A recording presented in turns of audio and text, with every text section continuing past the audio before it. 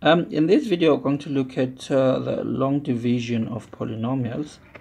Um, so we are going to uh, evaluate uh, these examples using long division uh, method.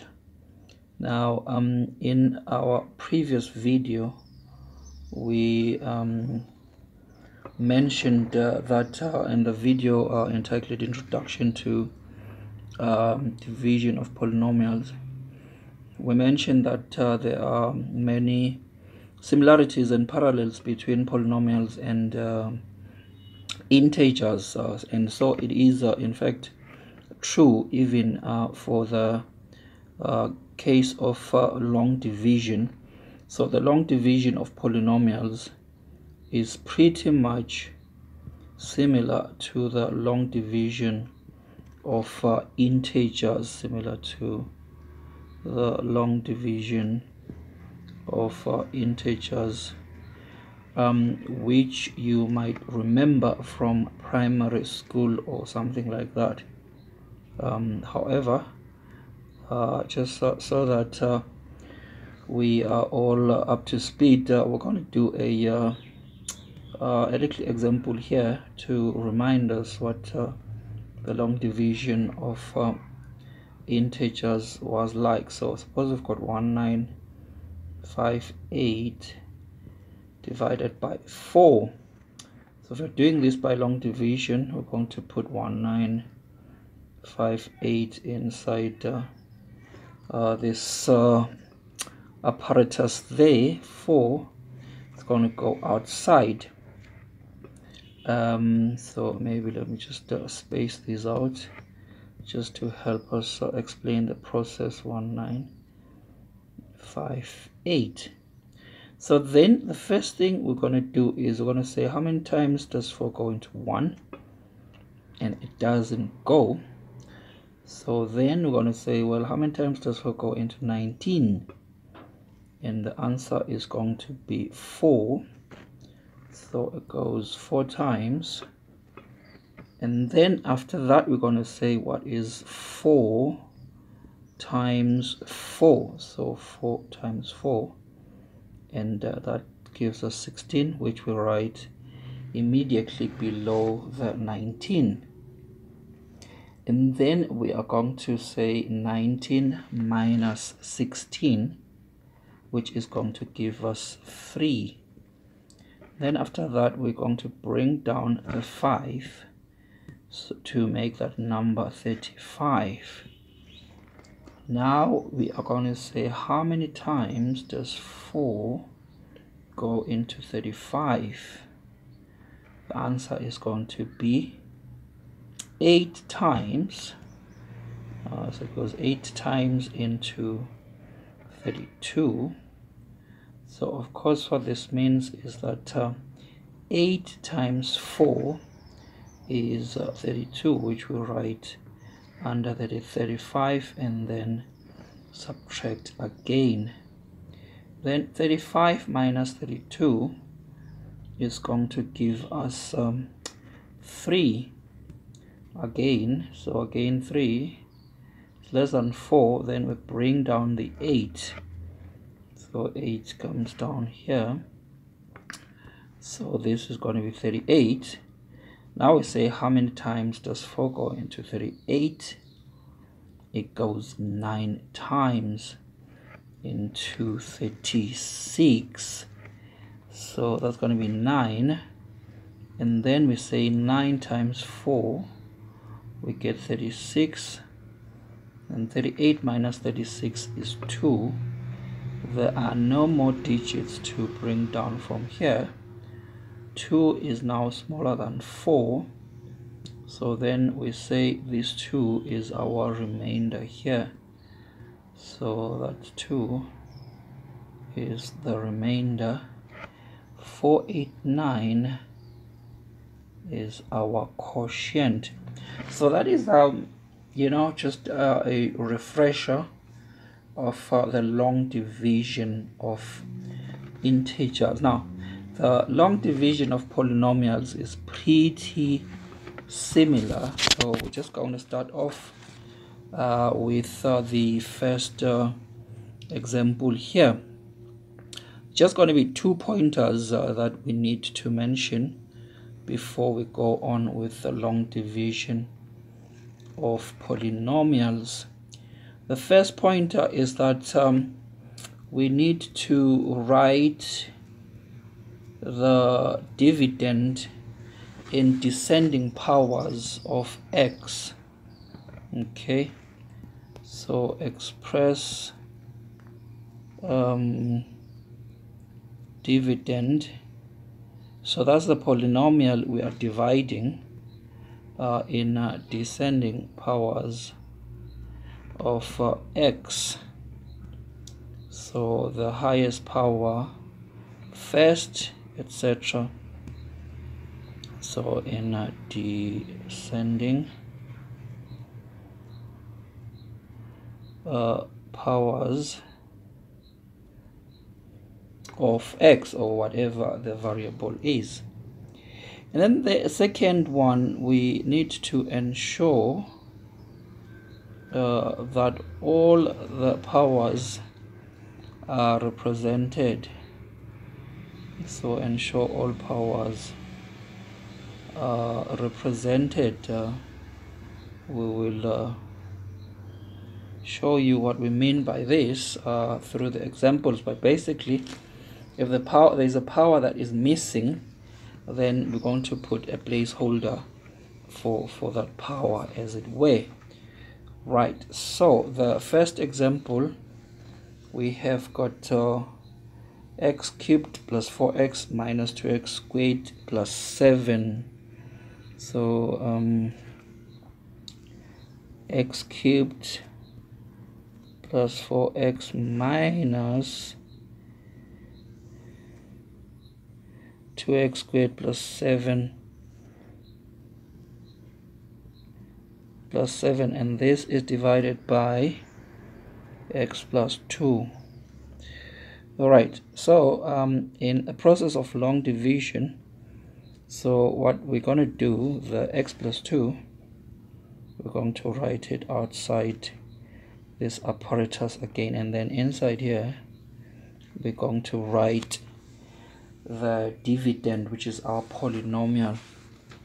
This polynomial is of degree 3 because the highest power that appears is 3 so since we're writing these in descending order we start with x cubed.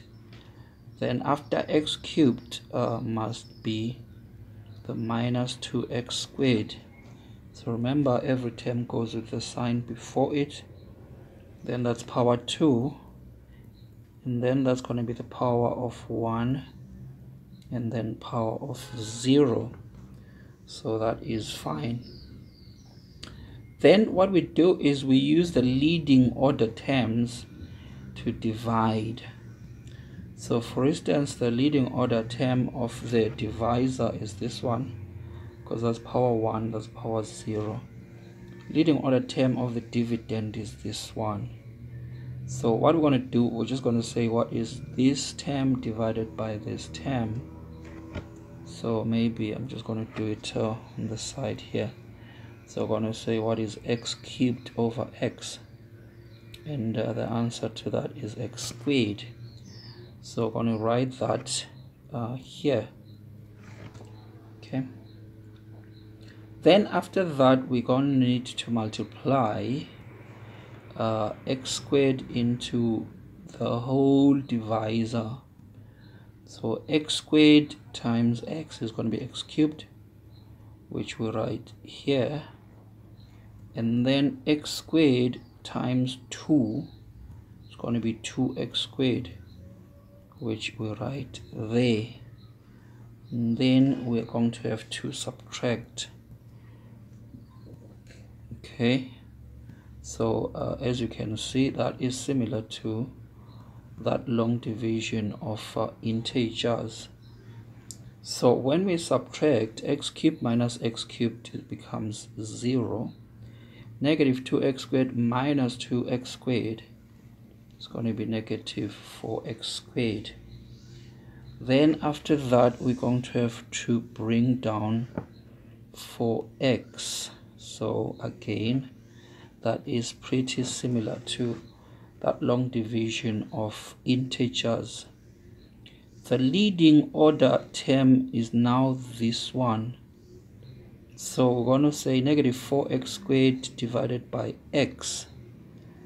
So again if we do it on the side here so negative 4x squared divided by x that is going to give us negative 4x so we write negative 4x there. Then we're going to look to multiply the whole divisor by negative 4x so first of all if we do negative 4x times x we get negative 4x squared.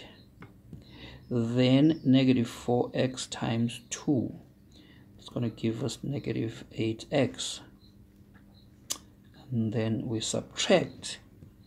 So these two will subtract to 0 this minus this so this is going to be 4x minus negative 8x so that's going to work out to 12x then we bring down the 7